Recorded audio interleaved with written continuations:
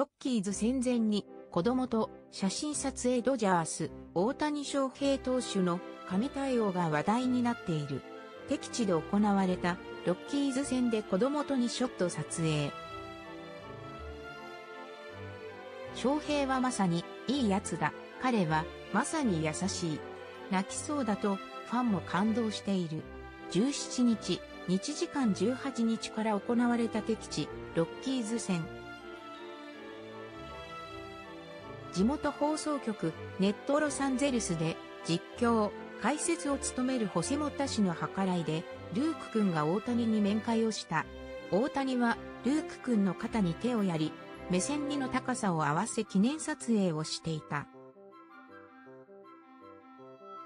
子供に見せた神対応に地元メディア、ドジャースネーションも注目。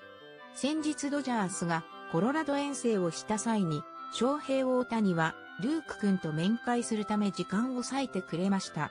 実現するために手助けをしてくれた、ホセモタ氏に多大なる賞賛を送ります。と綴った。大谷の神対応にファンも称賛。なんというジェントルマン。